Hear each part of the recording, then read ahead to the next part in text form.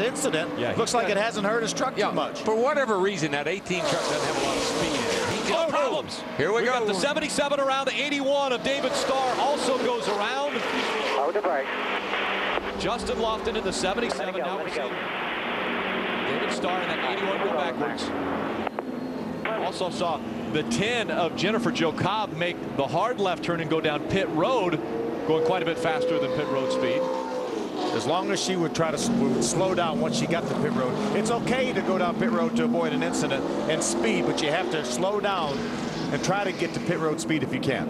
Got a left rear down on the 77. I don't know if that's what happened or not. Let's see if he made contact or did something happen here. He starts wobbling right there. That Oh. looks like maybe Max Papis Max was right. Possibly Max got into the back of him and got him loose. The left rear tire is down. I don't know if it's from the slide or not. Probably is. I think David Starr, an innocent victim there. You can see at the top of your screen Jennifer Jo Cobb, and she was definitely slowing down. There's another view. You see the 77 wobbling, and that throws him out into the outside into David Starr. Look at Jennifer Joe. What a nice decision she made to go down pit road. Saw that 81 of David Starr coming in front of her. Held it hard left and went right down pit road. Slowed down, as you mentioned. Super slow motion. Yeah, look back in there and see. Uh, There's the contact between the 77 and the 81. Turns David right down in front of Max Papis and the damaged 30 truck of Todd Bodine.